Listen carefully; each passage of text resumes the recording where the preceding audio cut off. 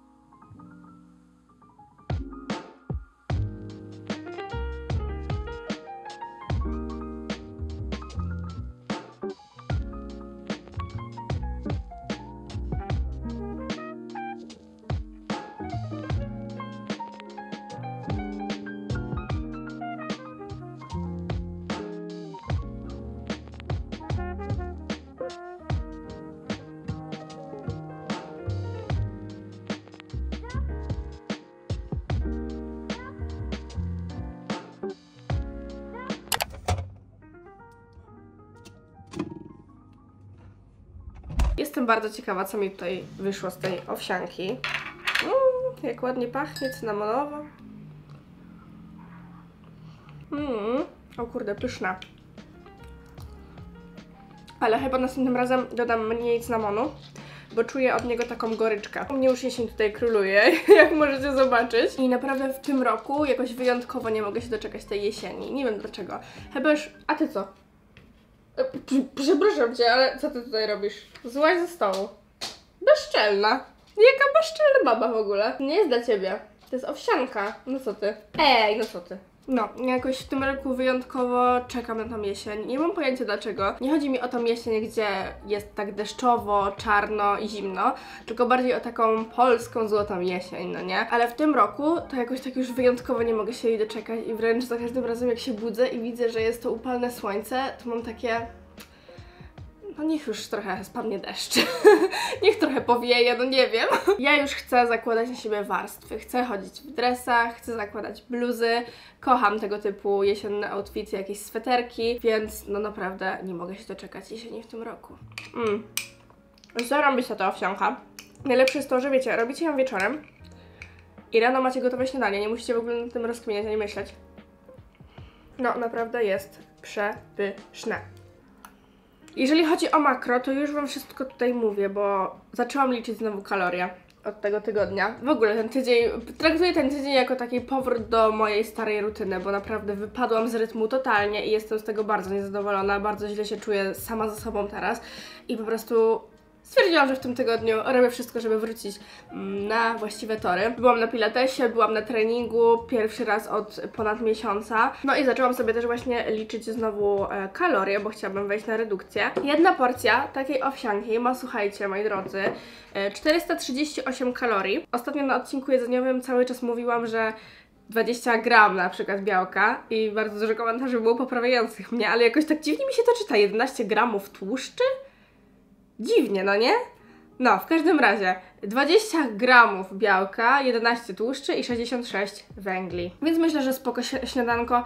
E, Ja nie patrzę tak dokładnie na te makro, jak to powinno wyglądać. Staram się tylko, żeby w każdym posiłku było co najmniej 20 gramów białka i żebym miała zachowane kalorie. Nie mój ulubiony element jedzenia, czyli oglądanie nowego odcinka Alisawy. Uwielbiam ją. Moim zdaniem jest najlepszą vlogerką na polskim YouTubie i też bardzo podoba mi się jej podejście w niektórych tematach. Tak jest ze mną tożsame. I no bardzo lubię ją oglądać, więc jeżeli wcześniej nie znaliście jej kanału, to polecam sobie obczaić, jeżeli lubicie takie codzienne vlogi. Powiem Wam, że wracam do biegowej formy. Bo na przykład dzisiaj biegnę cały czas tempem.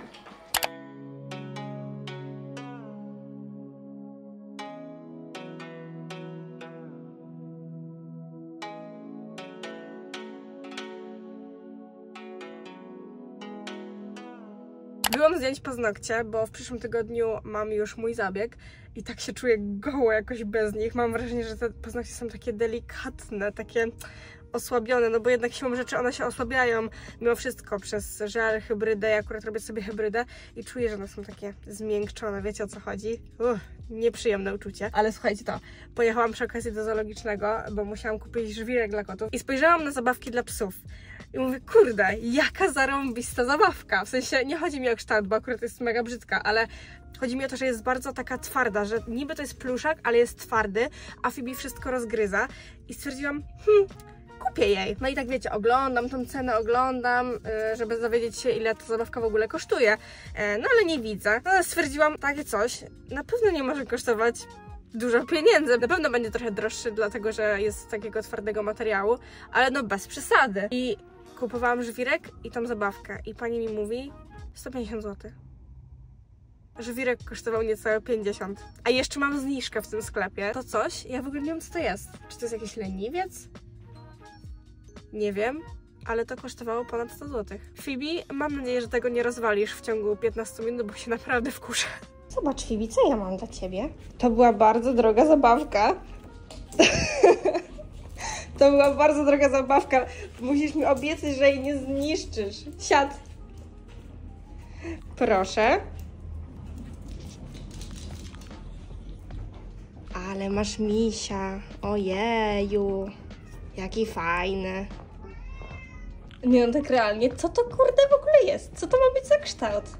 Proszę, pomóżcie mi rozkminić, co to, co to ma być. Kminiłam na początku, że może to leniwiec, ale chyba nie. Nie wiem. Nie wierzę w to po prostu. Coś ty zrobiła z tym plyszakiem, o Boże! 25 minut. Dokładnie 25 minut wytrzymała ta zabawka. Dobrze, że chociaż ty jesteś zadowolona, no. Witam Was w mojej kuchni. Dużo gotowania na tym vlogu, jak na mnie. Ale z racji tego, że postanowiłam, że w tym tygodniu po prostu wracam na właściwe tory i od nowa buduję całą swoją rutynę. Nie tylko taką codzienną, ale też żywieniową, bo niestety dużo pracy oraz brak takiej umiejętności zorganizowania sobie tego całego czasu sprawiły, że zaczęłam się gorzej odżywiać. Coraz częściej zamawiałam jakieś jedzonko, e, wiecie, takie na dowóz. Jadłam w sumie, no, na co miałam ochotę i co popadnie, co też nie uważam, że jest jakieś złe, bo nie przybrałam na masie jakoś niesamowicie. Po prostu wróciłam do mojej wagi, e, którą miałam przed redukcją, a udało mi się zgubić już 2 kg, więc e, teraz to wszystko wróciło na swoje miejsce. No i stwierdziłam, że chcę sobie znowu wejść na tą redukcję i pilnować po prostu tych posiłków, kalorii. Dlatego dzisiaj pokażę Wam jeden z moich przepisów, e, który mam od mojej dietetyczki i jest absolutnie przepyszne. Są to krewetki w sosie sojowo-miodowym z imbirem i z ryżem. No naprawdę palce lizać i teraz pokażę Wam krok po kroku, jak je zrobić. Na początek marynujemy krewetki. Dajemy sos sojowy, miód, chili, imbir oraz czosnek. Na patelni rozgrzewamy oliwę i smażymy cebulkę, a następnie dodajemy krewetki i smażymy z każdej strony. Dodajemy wcześniej przygotowaną fasolkę szparagową i wszystko podajemy z ryżem. Mam nadzieję, że ostrość ustawiła się na mnie i na kwiaty. Nie widzę, ale chyba jest git. Skończyłam i wygląda to przepysznie i pachnie też przepysznie. Nie wiem, czy nie przesadziłam trochę z e, chili. o kurde. Dobra, dałam czadu z tym chili, tak szczerze. No lekko mi się sypnęło. Ale tak czy siak dobra, ja lubię pikantne jedzenie i wyszły mi idealne krewetki i mój sekret na idealne krewetki żeby nie robić ich za długo. Tylko dosłownie smażymy z jednej strony, aż one się trochę skurczą, przekładam na drugą, kilka sekund smażymy i koniec. I one wychodzą wtedy takie soczyste. O matko, ale byłam głodna. Jak będziecie robić ten przepis, to dajcie wszystko według proporcji. Bo ja zawsze tak doprawiam na oko, bo lubię mieć tak mocno przyprawione, ale tym razem przegięłam. Mam czkawkę do ostrego. To jest moja dziwna przypadłość. Czy wy też tak macie? Że robię robi wam się czkawka od ostrego, bo ja za każdym razem jak zjem coś takiego mocno ostrego, to od razu instant mam czkawkę. Strasznie to dziwne, ale to jest mój znak, żeby naprawdę następnym razem trzymać się bardziej proporcji. W poprzednim vlogu mówiliśmy wam z Dominikiem, że kupił sobie szerokie spodnie. Słuchajcie, nie jesteście gotowi na to, co teraz zobaczycie. Oh my god. Hola, no hablo inglés. Jestem meksykańskim kartelem, boże, gangsterem. Z Mi się, mi się najbardziej podoba e, twój chain. Dzięki. A dlaczego tak wyglądasz? Bo idziemy na grilla w stylu lat 90. i można było hip-hop, stronę albo hip-hopową, albo gangsterską. Ja wybrałem bycie gangsterem meksykańskim. Moim zdaniem wyglądasz trochę jak raper. Wiesz o co chodzi, mała? Wiesz o co chodzi? Chcesz kupić ci jakąś torebkę? Czekaj, nie wiem, która godzina, nie wiem, czy patrzeć tu, czy tu. Sorry, Mordka, nie mam czasu, bo wiesz, muszę robić pieniądz. Wielkie pozdro. Jestem właśnie w trakcie pakowania się do szpitala. Jak to w ogóle brzmi? Jakbym szła na jakąś, nie wiem, mega poważną operację. Ale tak, e, będę miała jutro robiony e, zabieg usunięcia migdałków i się pakuję. I nie wiem za bardzo o co chodzi, bo dostałam maila dzisiaj z wytycznymi, o której tam mam się stawić w placówce, co mam zabrać ze sobą i tak dalej. I to jest zabieg wykonywany w jeden dzień. Ja już po południu wyjdę, a oni kazali mi wziąć szlafrok, piżamę, kapcie, rzeczy do mycia. Rzeczy do mycia jeszcze kumam, no bo tam przed zabiegiem trzeba się umyć. Zrobię to w domu, ale może tam na miejscu też trzeba będzie się umyć, nie wiem. E, Więc rzeczy kosmetyczne takie do mycia okej. Ale piżama, szlafrok? Ja myślałam, że ja sobie przyjdę w dresie i będę tam sobie w dresie śmigać, nie? W każdym razie kupiłam sobie dzisiaj taki szlafroczek w takim e, ładnym, miętowym kolorze. Jak w ogóle pasuje tutaj do łóżka.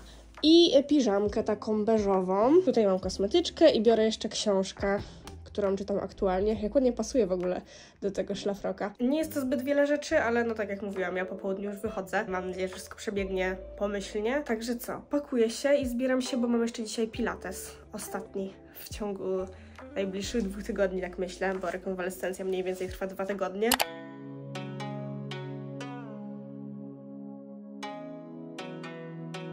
Jedziemy właśnie już do tego szpitala, w którym będę miała robiony zabieg. Jestem mega głodna. Już wczoraj czułam, że chce mi się jeść w nocy, ale wiedziałam, że za 6 godzin muszę wstać, więc nie zjadłam, bo trzeba być na czczo. Ciekawa jestem, o której mnie wezmą, bo o 7.30 mam tam przyjechać, ale kolejność operowania będą ustalać tam na miejscu. Mam nadzieję, że jakoś szybko, bo chcę już po prostu wyjść. Trochę się stresuję, powiem wam. Już mam takiego nerwa od wczoraj troszkę. Wiem, że to jest mało jakiś inwazyjny zabieg, w sensie nie jest on skomplikowany, trwa jakieś 20 minut z tego, co czytałam. Ale no jest to przerażające, że cię usypiają, no nie? Nie wiem, jakieś takie mam mieszane uczucia. Jadę z takim stresem. Witam w moim pokoju. Jestem już przyjęta na oddziale. Czekam teraz na swoją kolej. Jestem druga w kolejce. Zabiegi się jeszcze nie zaczęły, więc chyba troszkę poczekam. No, ale przebrałam się w piżamkę i siedzę.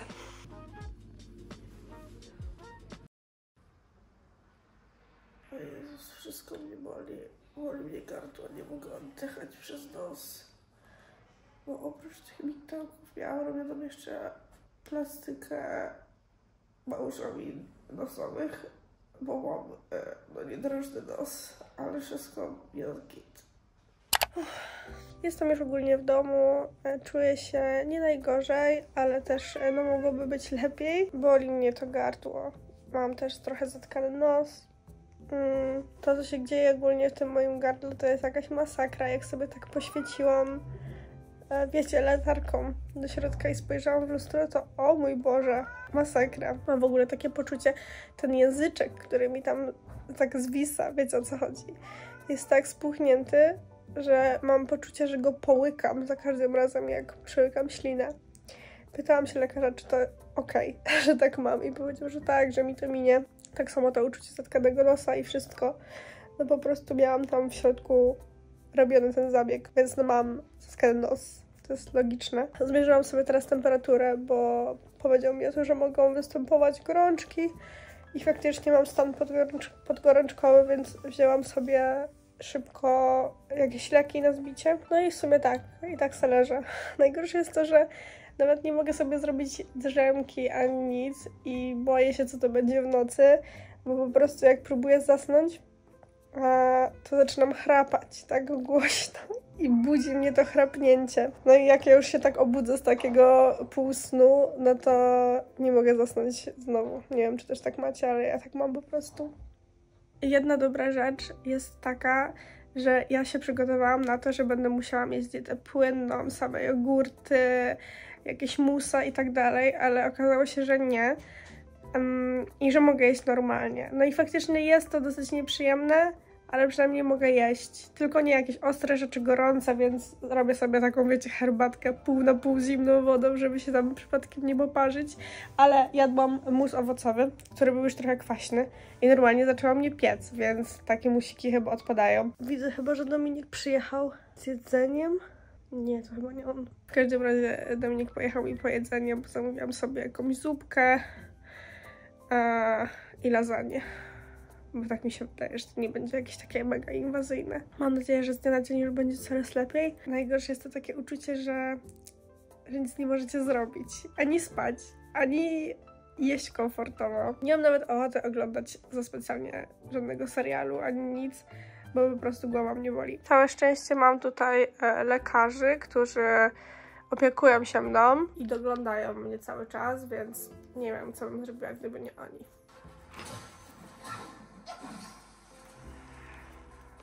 Yo, update gardłowy. Ja czuję po prostu, że w montażu będę musiała podgłośnić wszystkie ścieżki audio, jak ja mówię, bo ja sama siebie nie słyszę.